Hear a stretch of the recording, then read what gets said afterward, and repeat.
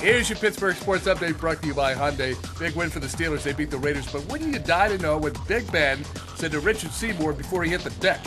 How about Jackie Evancho? Where is she now? Well, her Christmas CD debuted at number two on the Billboard charts. She even beat Rihanna. So you wonder what she was going to do with the rest of her career? She's singing Christmas songs.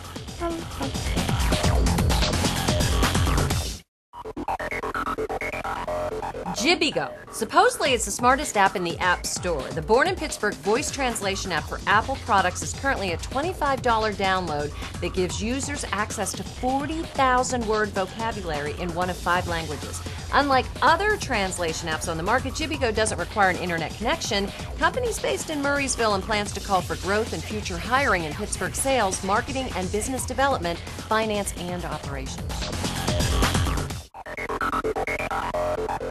A new Fox TV series called Locke and Key is shooting right here in Pittsburgh about a mother and her children who move into an enchanted house in New England. They were looking for an East Coast area to film with a solid production crew, and Pittsburgh was it, of course. Fox has given a 13 episode commitment, so we look forward to hearing more about this.